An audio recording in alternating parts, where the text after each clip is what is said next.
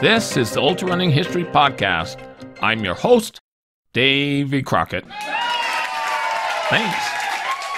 Thanks for coming. This is episode 150. Wow, 150 episodes. In this episode, I will introduce my new book available on Amazon, Around the World on Foot The Early Globetrotters. I will also share a chapter about Paul Jones from Boston, who originated the strange idea of starting these walks in a paper suit. I'm very proud of this new book. I wanted to share some details in the podcast about what my research found. Years ago, as I was doing some research into transcontinental walks and runs, I came across some newspaper articles about two German men in 1893 who are trying to walk all the way around the world, taking steamers between continents. I had never heard of something like that before, so I did some further research that resulted in episodes 38 through 45.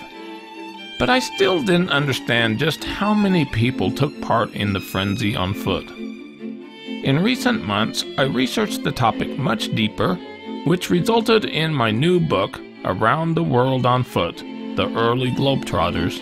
The reason I'm proud of this book is that no one else has ever researched deeply the amazing event before. No one had ever before lined up side by side the hundreds of Walker stories to answer many questions of why. Why were there so many Walkers? Some towns got tired of Globetrotters continually coming into their towns. Did any of them truly succeed in circling the globe on foot? How many of them were frauds? Why did it take so long for the public, including newspaper reporters, to catch on to some schemes? How many years did this fad last? Why did many of these globetrotters start in paper suits? Who originated that wild idea? Were there really some around the world races, as several of these globetrotters claimed? I found the answers to these questions. My book shares more than 60 stories of men and women who attempted to walk all the way around the world, including many who were conning people into thinking they were. I don't just tell the stories, I analyze them for truthfulness and validity. If a walk was legitimate, it was covered in dozens or even hundreds of newspapers as they made their progress across America, Canada, Great Britain, Europe, and Australia. For a given walker, I collected all those articles together, plotted their progress and dates from town to town to validate or invalidate their pace. It was a fascinating exercise. For example, one walker was in Salt Lake City, Utah, and the very next day was 400 miles further west on the railroad line at Battle Mountain, Nevada. When he arrived in San Francisco, he proclaimed he had walked every mile by foot across America. In my book, I pointed out these amusing claims and inconsistencies. Some fakers would appear in towns, but have no one witnessing them going in or out of the town on foot. They would simply march into a newspaper office, give them a press release, try to set up a lecture and get free room and board. The resulting book is hopefully entertaining, a bit mind blowing, and at times amusing. I had to pull it all together to make sure the history was told. Now to some details. In 1872, the French author Jules Verne released his renowned adventure book, Around the World in 80 Days. This novel fascinated readers with the idea of circumnavigating the world within a specific time frame and encountering incredible sights. Beginning in 1875, people began talking about the idea of walking around the world. Wagers were made and some isolated attempts began. They had no true idea how far it was around the world, what roads and trails existed, how many miles could be walked each day, and how long it would take. In 1893, a severe depression hit America called the Panic of 1893 that created massive unemployment. From 1894 to 1897, at least 300 walkers took part in the around the world on foot fad that became a frenzy. For some, it was a legitimate ultra walking attempt, but for most, it was just a scam to travel on other people's generous contributions. The typical scam went like this. They claimed that they were trying to walk around the world to win thousands of dollars on a wager, like Phileas Fogg, but they had to do it without spending their own money. They needed to be funded through the generosity of others to get free room and board and free travel on ships. Walkers came out of the woodwork, and the newspaper reporters were fascinated by these attempts. Sprinkled in with these self promoting frauds were also those who were legitimately striving to circle the globe on foot. Their efforts were genuine and very hard. They underestimated the difficulty involved, yet had amazing experiences. Ultra running historian Andy Milroy commented The walkers depended a lot on the very believing nature of an often isolated people who had little knowledge and understanding of what was involved in such a walk. Likewise, credulous reporters with limited knowledge had no way to validate what they were being told. They needed a story and deadlines had to be met. The walkers started off with unrealistic, naive expectations. The participants gradually compromised, took shortcuts and rides, which were edited from their accounts and possibly from their memories. They often believed what they were saying. They became part of their fictionalized narrative. The whole point was attention seeking and gaining status that is fundamental to our society. They invested their lives in this type of activity because it gave them notoriety, a touch of fame. Eventually, some in the press got wise regarding the pretenders. These walkers started to be referred to derisively as tramps, globetrotters, cranks, fools, or around the world freaks. One reporter wrote, a great majority of these walkers upon the face of the earth are men who would rather do anything than work. Another astute reporter identified many of these walkers as, quote, frauds traveling over the country practicing a smooth game in order to be wined and dined. A city in New Jersey was so tired of them that they wished the world was flat so the tramps could walk off the end of it. During the around the world craze heydays of 1894 to 1897, there were several hundred globetrotters by foot who were mentioned in the newspapers.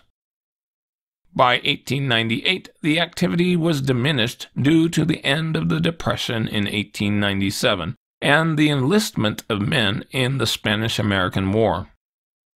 However, this astonishing global walking activity continued for another 40 years and about another 400 walkers until World War II shut down the fad for good.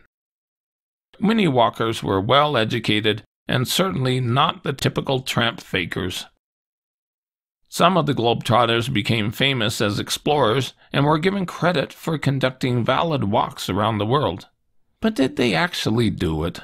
What was their motivation for spending months and years of their lives in this activity away from family and friends? What did they do with their lives after their walk?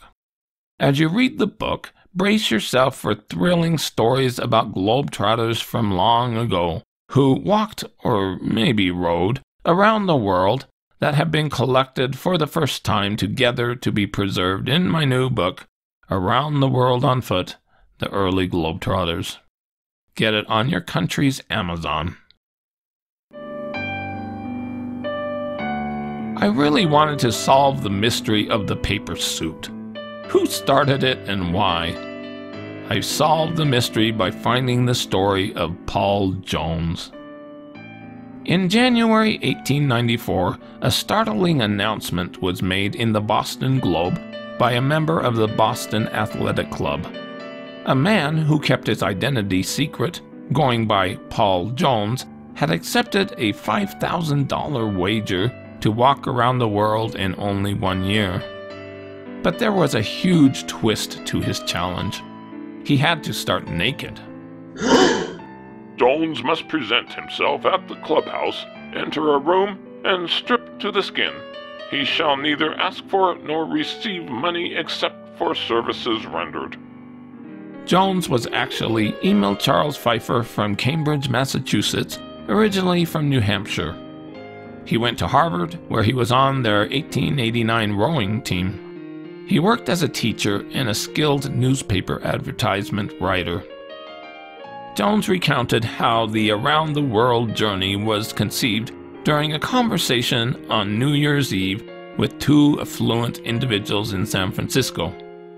They were discussing how two Americans had traveled the globe with expenses totaling $8,000, which is valued at $300,000 today. Jones said, I expressed the belief that a man with his wits about him could start out with nothing, go around the globe, and come home again in a year having made $5,000. I said I was willing to wager $5,000 on it. I really didn't have any plans when I started out. The wager was agreed to. He planned to walk from San Francisco to New York City, earn money to steam to London, England, and then head east across Europe. Jones joined in on the around the world craze on February 12, 1894. Before leaving on foot, he used some strange ways to earn money. When the proper time came, Mr. Jones announced to those present that all who cared to see him make his first move in the great around the world journey could do so by paying a small admission to another room.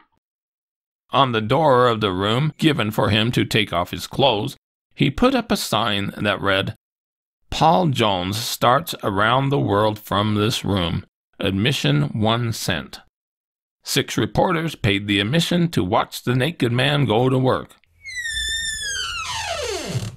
Stripping to the skin, he next paid a messenger to buy him newspapers and pins. He then constructed a paper costume in fig leaf fashion.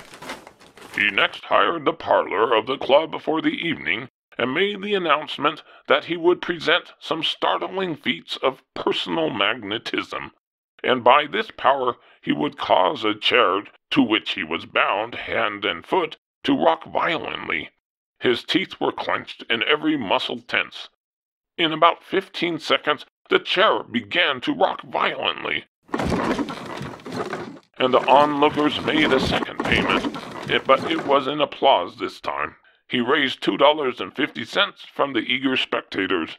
It was a case of bunco, and the feat was accomplished by simply bobbing his head to and fro, the chair swinging with motion.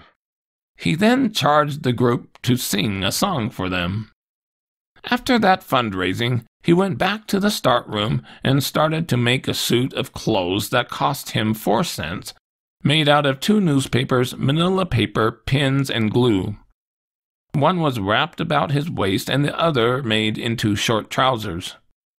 He then made a more substantial suit out of brown wrapping paper that cost him eleven cents, it took him about three hours to create it while he dined on a 45 cent supper. Dressed in more style, ready at 11:30 p.m., he again entertained guests in the parlor by performing more tricks.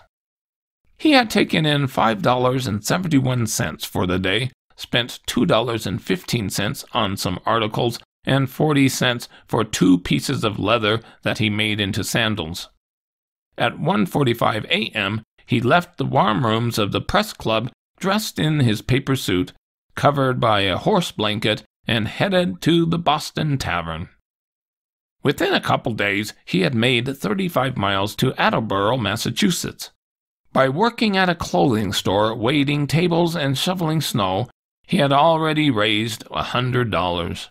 He exchanged his paper suit for something more substantial and stylish, Selling the paper suit brought him a significant profit, so he made another one from a horse blanket. He had pictures of himself taken and began selling them with an autograph. He was seen charging five cents for a handshake, a quarter for an autograph, and a dollar to run a 50 yard race. He got sponsorships with the Continental Clothing House and a photography company. At Pawtucket, Rhode Island, he made the mistake of borrowing $50 from a professional mind reader acting as his local manager. This broke the terms of the alleged wager. Things started to unravel as Jones' secret identity became known. Jones's walk around the globe came to an apparent abrupt end about 50 miles at Providence, Rhode Island. He was arrested, taken to Springfield, Massachusetts, and thrown in the jail for non payment of debts.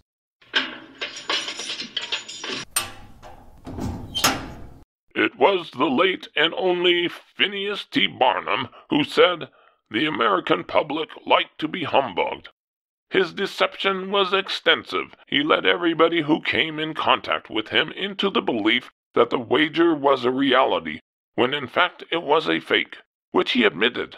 His whole conduct has been a game of bluff which has succeeded in working with some success. He is a man of an oily tongue. It turned out he wasn't even associated with the Boston Athletic Association. He confessed to devising the scam for financial gain and fame. Several individuals who are acquainted with him spoke up, testifying to his perpetual strange ideas and eccentric tendencies. He had run up debts and embezzled money from a school and was later fired. Jones wouldn't be stopped. He got out of jail and continued his walk. He denied he was a faker and showed us signed and notarized articles of agreement that had been put together for him at the start. He still had many supporters and had a large amount of mail waiting for him when he was released. Some contained offers for him to appear in several towns and cities.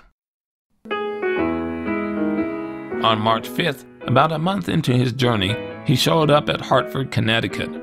He earned $3 selling photographs and autographs. Clearly, not all of the public knew about his arrest and confession, so his scam could be continued. Still, people made fun of him all the students of Yale proposed to have him shine their shoes at least once, paying him 25 cents. As there are about 2,000 students, the job will last about six months if he undertakes it. At Yale, he started singing, and some students paid him to stop singing. He arrived in New York City on March 9, 1894. The news characterized him as being a polished but shady businessman he again insisted his wager was real, gave many lectures in the city, and was in no hurry to go to Europe to continue his global walk. In Brooklyn, he was hired by a drugstore to sell umbrellas at a bargain counter, dressed in a paper suit. The following week, he drew large crowds while working as a salesman at a clothing store, showcasing his suits made of paper and blankets. Jones had announced plans that he would be sailing to Europe on May 9th, but it didn't happen. Instead, he was arrested again, this time in Jersey City for skipping out on a hotel bill. He was thrown into the city jail.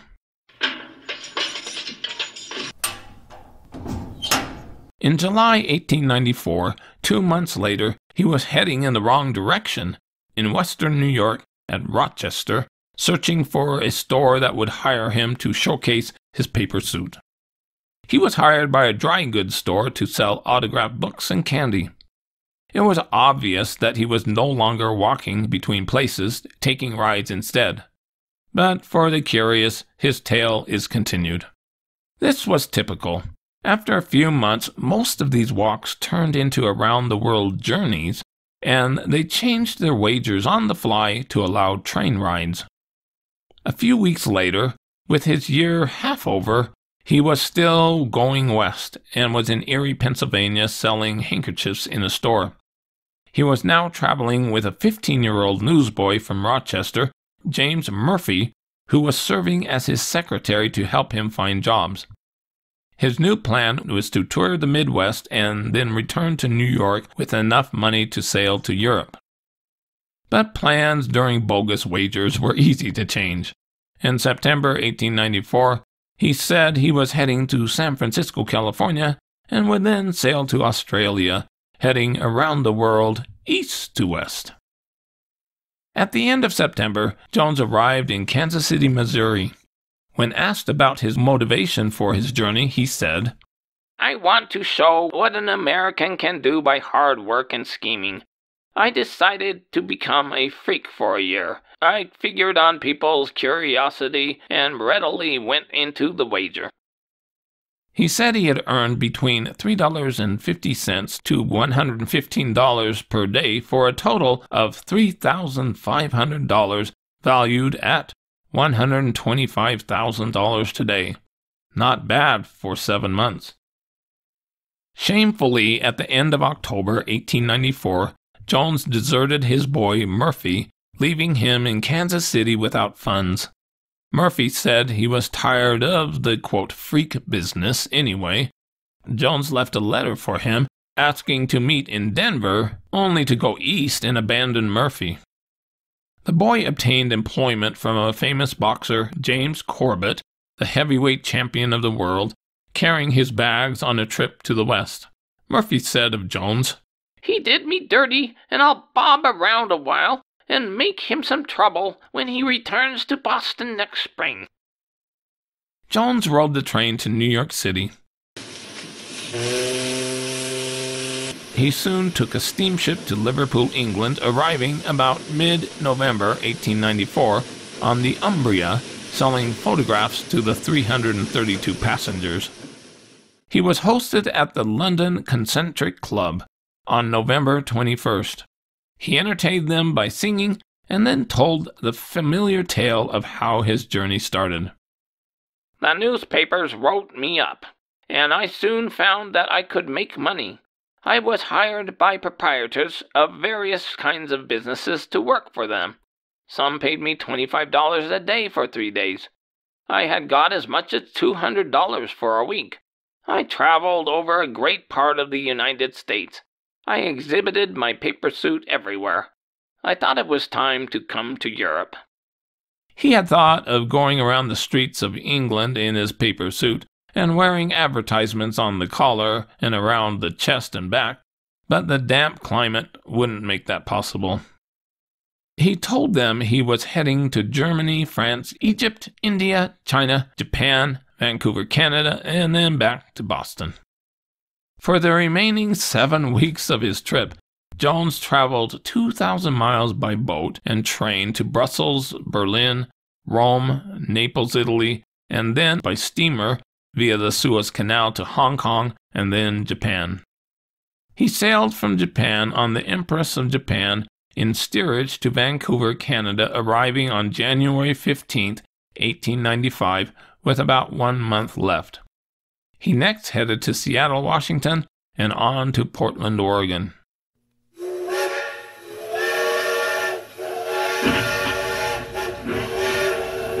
After riding the train to Spokane, Washington, he boarded the Northern Pacific Express to head east and pass through Montana the next day. He still had 13 days to reach Boston by his year deadline. On the way, unexpectedly, he left the train and stayed at a hotel in Minneapolis on February 2nd. He worked for several days in a dry goods store and left the city on February 5th. From that point, Jones disappeared. You might have been expecting a huge large scale event to be organized and advertised on February 12th to celebrate the culmination of his around the world expedition. Instead, there was silence. There was no mention in the newspapers at all. Why? Because the Boston newspapers, the Boston Athletic Association, and Jones all knew the wager was a huge hoax. Additionally, there were likely creditors eager to pursue him once more on his return. Jones quietly returned to Cambridge, Massachusetts, and resumed his true identity of Emil Pfeiffer. With no solid proof that he arrived in Boston on February 12, 1895, the San Francisco Examiner speculated that he had been committed to an asylum. Others believed that the original Paul Jones was still in a Rhode Island penitentiary serving a five year term and that an impersonator had been the Globetrotter.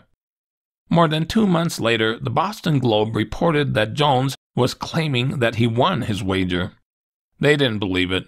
What really happened remains a globetrotter tramp mystery. This we know.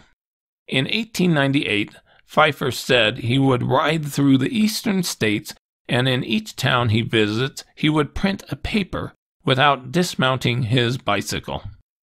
Instead, he got married that year in Cambridge, Massachusetts to Molly Holbrook.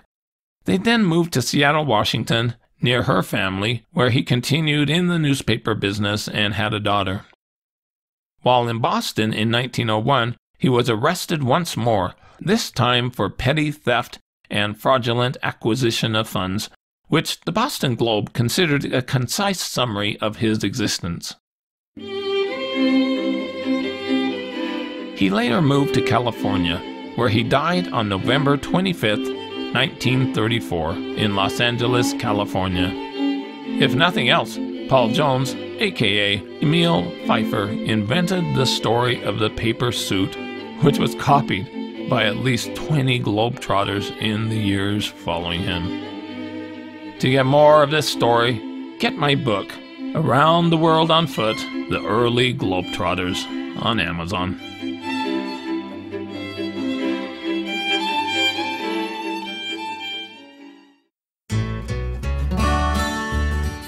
With that, this is Davy Crockett, and this is the Ultra Running History Podcast. I hope you run fast and far, enjoy life, get outdoors, and most of all, stay safe and don't take unnecessary chances.